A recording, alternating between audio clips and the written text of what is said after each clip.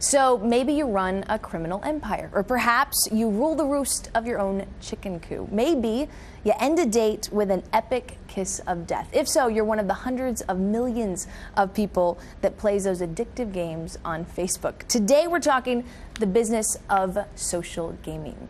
Welcome to Venture the World of Small Business and Big Ideas. I'm Cris Valerio.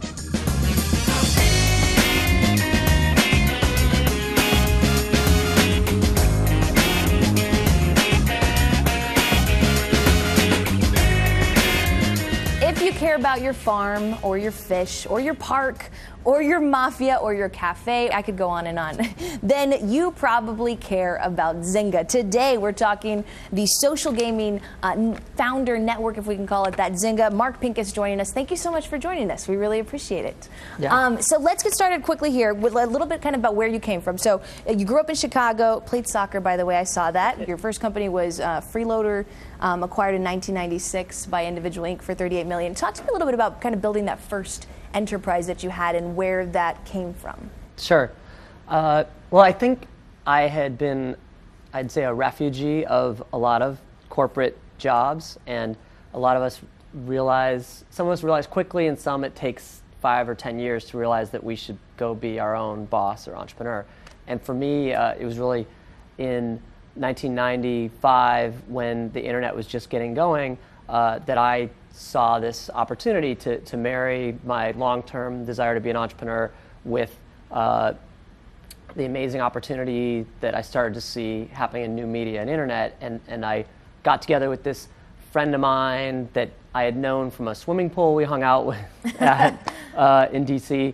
And he was at AOL, and we decided we were going to uh, kind of come up with uh, a consumer service that would solve early problems people had in, in navigating the internet. And so uh, we just launched without really knowing Did how you it have money? be a business. Did you, I mean, what did you do?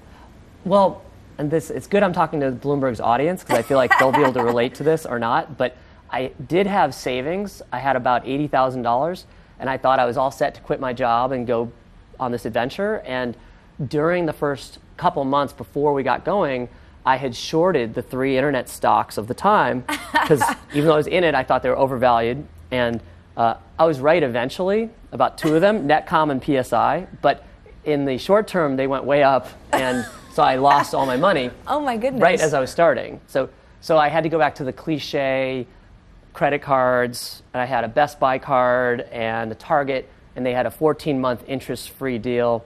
So I managed to buy $10,000 worth of computer equipment, you know, with them financing me. You eventually sell it for 38 million, certainly making back probably more than what you were shorting those stock for, I would assume. Um, second company, support.com, that eventually went public in 2000. So you did the acquisition standpoint, you did the IPO, done both of those things. The third company, TribeNet, which was one of the first social networks, uh, eventually selling parts of Cisco. Talk to me about getting into the kind of that social networking space and that first step, this third kind of entrepreneurial uh, task that you went under. Sure. Well, for me, this whole social media uh, genre started with Napster. So I was lucky enough, well, I shouldn't say lucky enough because I lost money on this too, but, but I was one of the first investors in Napster. And if you remember, Napster was the beginning of this person to person internet movement.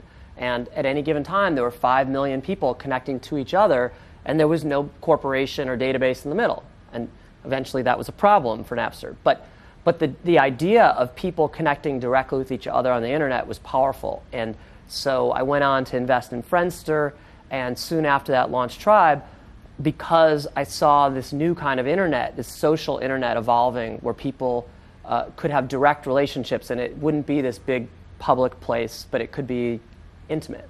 And this kind of then leads us to where Zynga came about because it kind of takes all your previous ex- uh, experiences and kind of fuses it together. So where did you first get the idea? I know that uh, in July 2008 you raised 29 million, uh, led by Kleiner Perkins. That was your first fundraising, is that correct? Second. Second. Okay. So so then tell us about where the idea came about and how you get started the process of to actually make it real. Sure. Well, uh, it starts with failing with Tribe.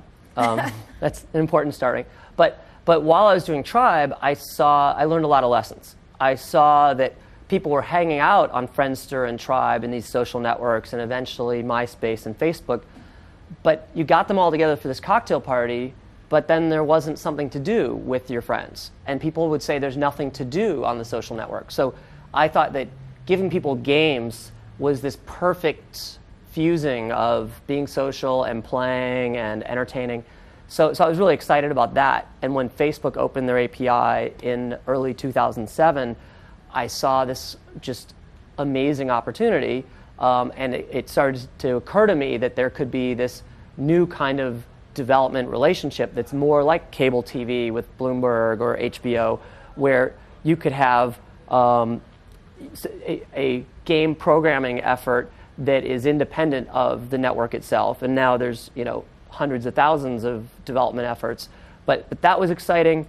I saw this opportunity to uh, get to this large audience and so let me just ask this. Yeah. so was the idea of facebook opening up this kind of developer platform was that really what led was the catalyst to actually create the company? So it, from the beginning it had facebook in mind? Yeah i'd say it was it was definitely facebook was opening was the first catalyst because we wanted to do social games.